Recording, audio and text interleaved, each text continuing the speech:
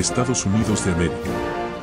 Simpatizantes de Trump apoyan y llaman traidora a Lindsey Graham en meeting de Carolina del Sur.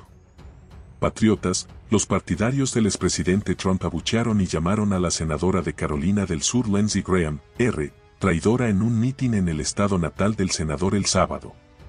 Gracias a todos por venir. Muchas gracias, dijo Graham en respuesta a un coro de abucheos en el meeting del expresidente en Pickens, Carolina del Sur. Solo cálmate por un segundo. Creo que esto te gustará, añadió, después de esperar varios minutos a que la multitud se acomodara sin éxito.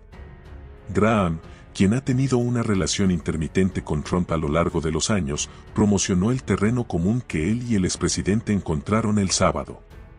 Tomó un tiempo llegar allí amigos, pero déjenme contarles lo que sucedió, dijo.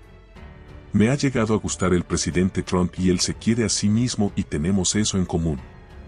Y lo ayudaré a convertirse en presidente de los Estados Unidos.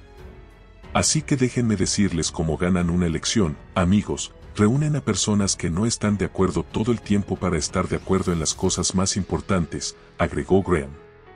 Mi esperanza es que podamos unir a esta fiesta porque él será nuestro candidato.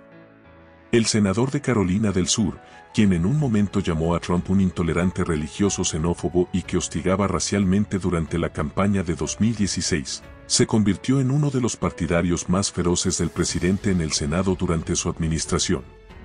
Graham se volvió brevemente contra Trump después del ataque al Capitolio del 6 de enero de 2021.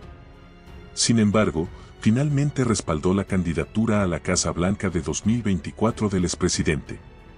El senador defendió recientemente a Trump frente a dos acusaciones y dijo el mes pasado que los últimos cargos hicieron que el expresidente fuera más fuerte que antes.